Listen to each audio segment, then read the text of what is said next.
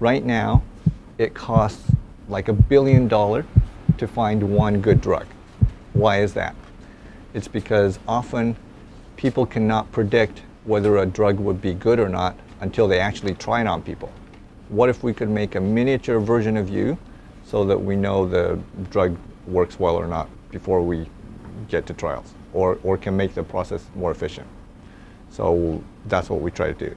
Our lab specializes in using those microfluidic devices to model parts of your body. This is one example of a microfluidic chip, as we'd call it. Inside the Petri dish is a device with very small channels inside. And this would be the type of system where we might put living cells inside to mimic the blood vessel or lung or other parts of the body. It's a lot like cooking for a lot of, a lot of the devices we make. We first start out with designs for the microfluidic system, and then we make a computer drawing of something that models that, and then we will uh, do microfabrication of the designs based on those computer drawings. So this one is a device to, to make 3D cell culture.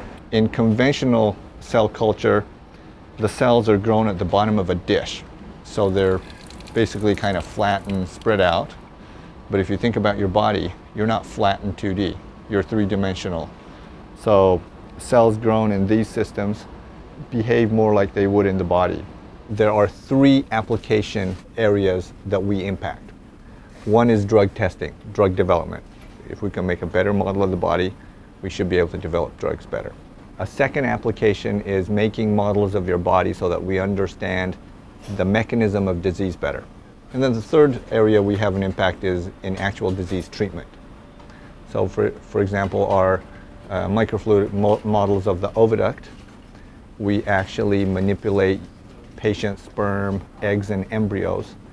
And by providing those cells with a more physiologic environment, the cells are happier, produce better embryos, so that when they're implanted back into the mother, uh, they would have better pregnancy rates.